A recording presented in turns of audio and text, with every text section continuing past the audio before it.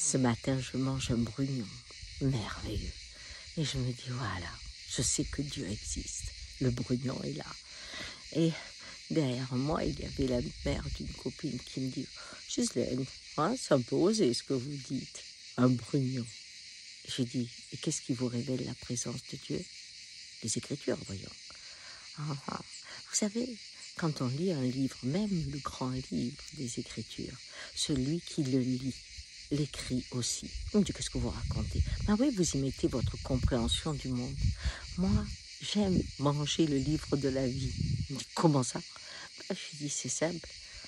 Tout ce que je mange, je sais que c'est pas le jardinier qui l'a fait. Il a accompagné la création. Mais la création, je sais qu'elle arrive comme la magie. Je sais que les forêts ou les arbres que je vois, les cigales qui chantent, les oiseaux qui se déplacent, oui, je sais que c'est le livre de la vie qui chante en moi et célèbre ce que vous appelez Dieu. Ma façon de lire le livre, c'est de le vivre à chaque instant. Elle me dit là, je vous comprendrai jamais, Gisèle. Vous savez, il y a des choses, il y a des êtres exceptionnels qui nous ont ramené la parole, et ça, c'est essentiel.